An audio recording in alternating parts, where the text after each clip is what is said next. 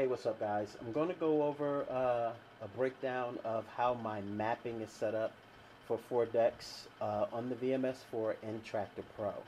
I'm going to start first with the center of the VMS4 um, so you get a pretty good understanding of what's going on there. This is segment one. I'm going to come back with two other segments for the left side and the right side, uh, basically deck A and C, deck B and D.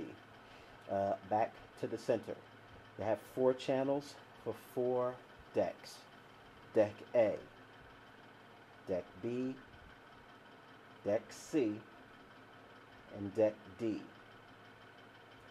Uh, the cues are all mapped to work with the corresponding um, actual decks that you're going to use. Deck A, Deck B, Deck C, and Deck D. All four cues work. The crossfader, I, you can of course select it if you want to select which decks you want to actually work in a crossfader. When I'm using four decks, I don't use it. And I haven't done any mapping with anything for that. Um, all of the EQs also work for the corresponding deck.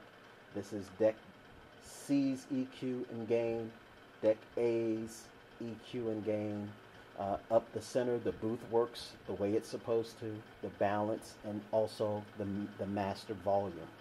Uh, deck B, EQ and gain, deck D, EQ and gain. I have not mapped anything else on top of any of this. This is the basic function for uh, your volumes, your gains, your mids, your highs, and your lows, setting your booth, your master, and your balance. Um, I haven't done any mapping with the mouse pad or the load buttons. They work standard the way that they were uh, assigned through uh, American Audio for the VMS4.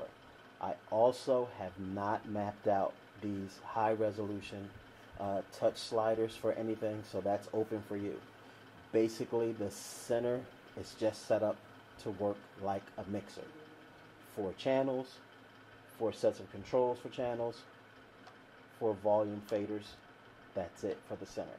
Be back for segment two uh, for the left side and for the right side.